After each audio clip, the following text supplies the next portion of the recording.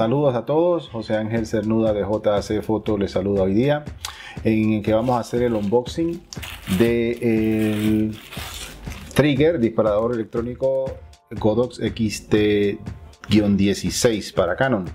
Eh, estaremos hablando un poquito de las funcionalidades, de por qué, por qué decidí comprar este modelo y las aplicaciones y las funcionalidades que tiene. También lo vamos a montar en el flash para que esto vean cómo, cómo se hace, cómo trabaja y esto vamos entonces a ello. Vamos a mirar acá qué es lo que está pasando, ¿vale? Ok, aquí tenemos, eh, así viene presentado eh, este modelo, el XT16. Yo compré tanto el el disparador como el receptor, ¿ok? Esas son, pueden comprarse por separado, ¿no?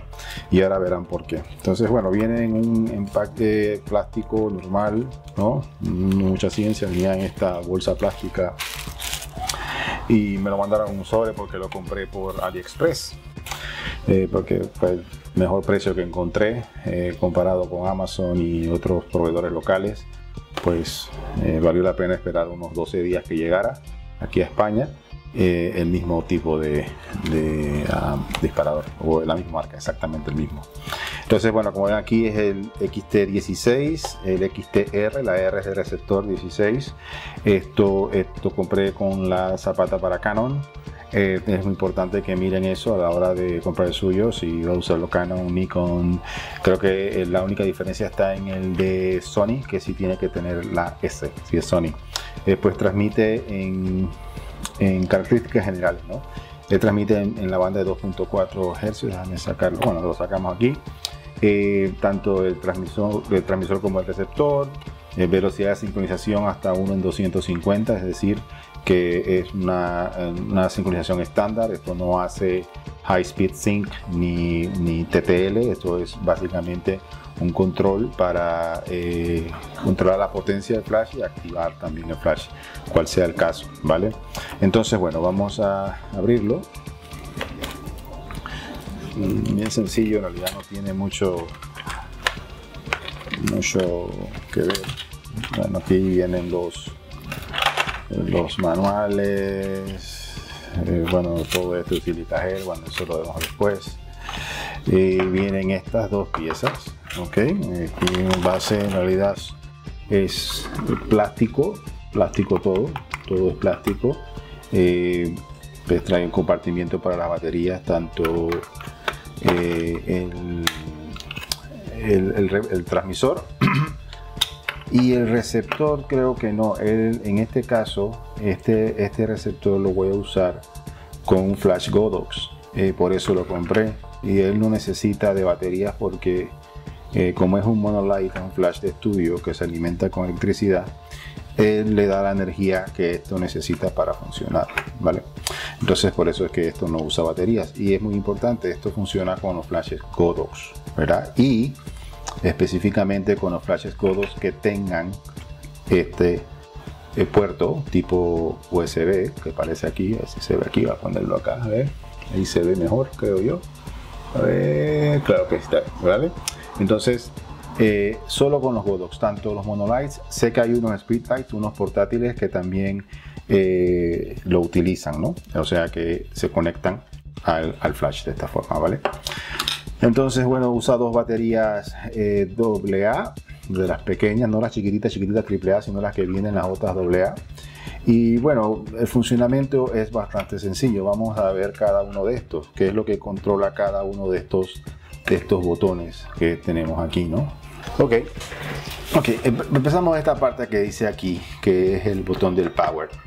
El power, lo que va, lo que va a hacer esto es permitirte controlar ¿ok? De acuerdo al canal que tú establezcas o el banco, vamos a ponerlo de esta manera, eh, tú puedes tener canales de transmisión donde vas a transmitir la señal, en que tanto el, el transmisor como el receptor tienen que estar en el mismo canal.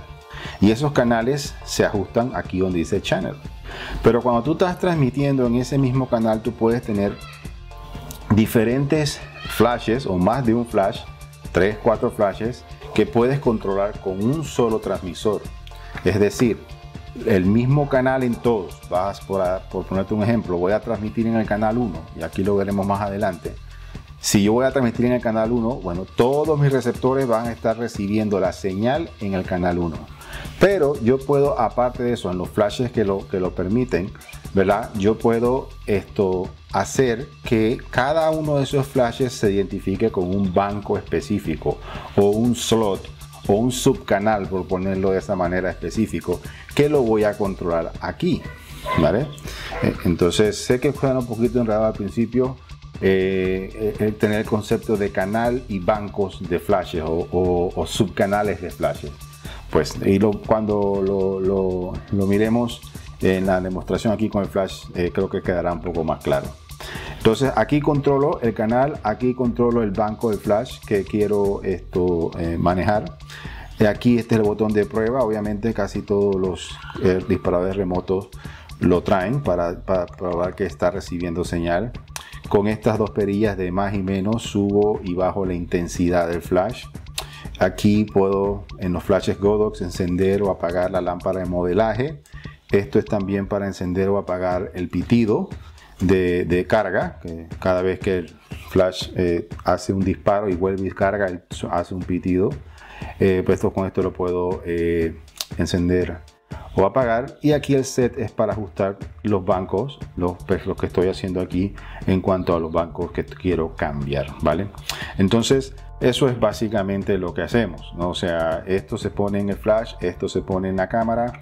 Eh, tenemos que hacer que tanto el canal como el, el banco de poder hagan el match para saber que el flash está recibiendo la señal.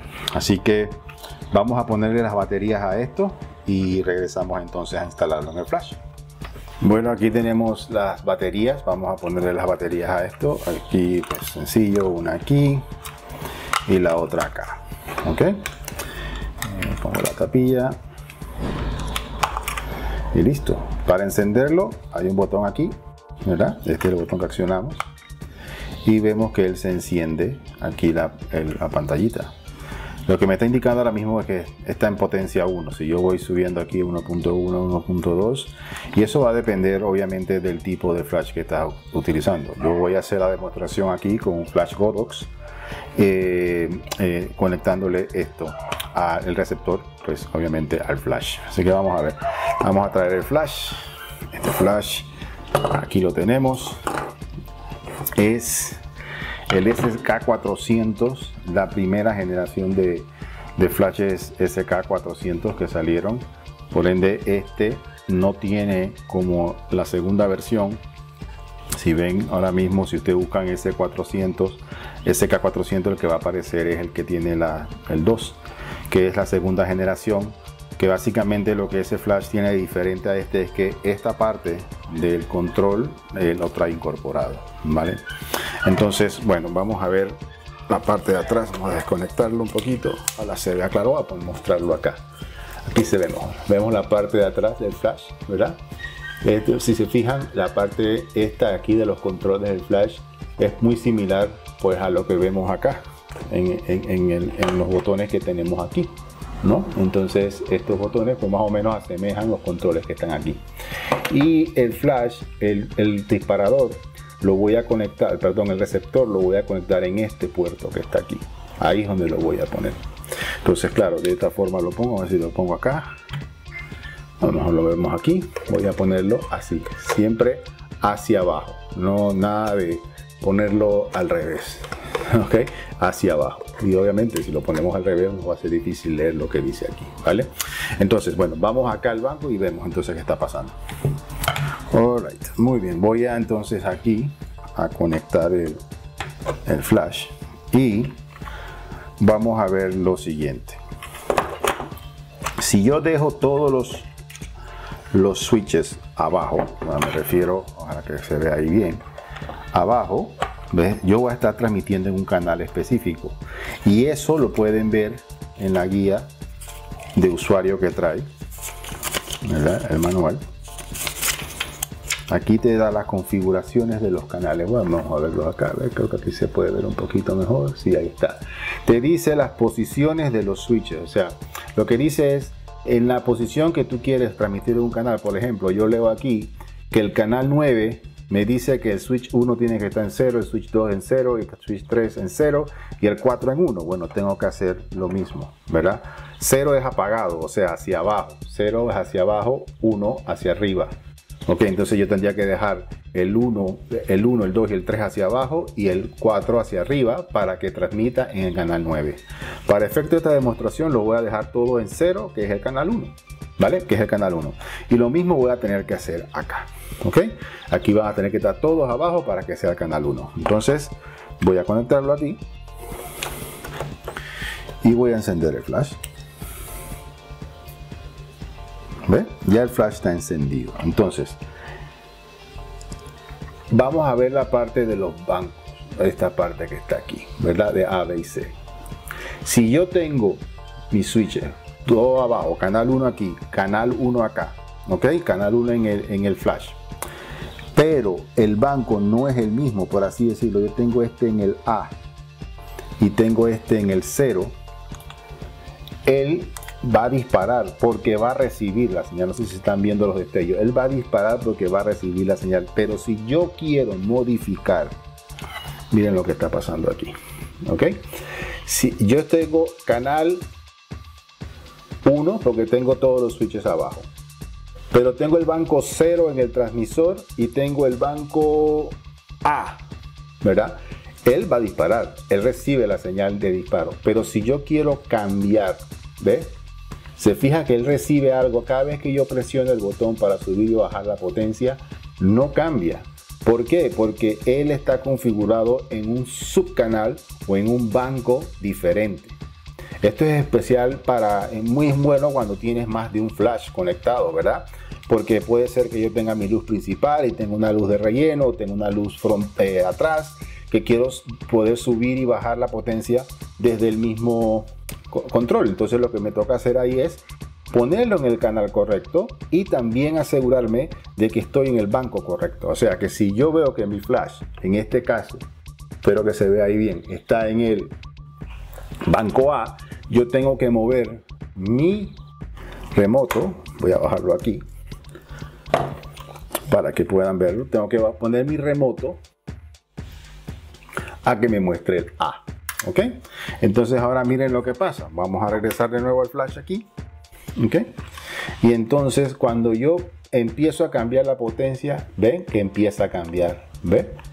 Por eso es que compré este modelo. porque Yo tengo un flash Godox que no tiene receptor incorporado y quiero poder controlarlo desde aquí. Cuando está el flash puesto en el, en el, en el soporte y está muy alto, no tengo que estar trepándome en escaleras ni nada sino que de aquí lo puedo hacer. Entonces eso es importante. Si yo tuviera dos de estos flashes, yo necesitaría dos de estos controles. Puedo poner uno en el banco A y el otro en el banco B y solamente tengo que cambiar A o B aquí dependiendo de cuál es el flash que quiero yo controlar o cambiar la intensidad. ¿Vale? Y de eso se trata, ¿ok? Funciona para los flashes Godox que no tienen el receptor incorporado. Si tú tienes uno de los flashes Godox que ya tienen el receptor de 2.4 GHz incorporado, no necesitas esta pieza, solamente necesitarías este, ¿vale? Entonces, eso es una, bien práctico. Casi todas las nuevas generaciones de, de, flashes Godox tienen el, el, el, receptor incorporado de 2.4. Inclusive con estos flashes, con este remoto puedes controlar la potencia y los bancos de los flashes más sofisticados HSS y TTL, pero no vas a tener poder controlar la funcionalidad o llevar a cabo la funcionalidad TTL o High Speed Sync con este remoto. Así que pues me espero que el tutorial te haya servido. Si tienes preguntas, si lo usas, haz los comentarios, suscríbanse al canal si, si te gustó el video, dale like, compártanlo para que otros puedan esto beneficiarse de ellos. Y al final también en la caja de descripción te voy a dejar el enlace, es un enlace de afiliados, si ustedes deciden comprarlo, yo me gano una comisión, tanto de Amazon como de AliExpress, eh, tanto del Flash como del Trigger, eh, por si desean comprarlo. Y bueno, muchas gracias nuevamente, Dios les bendiga a todos, hasta luego.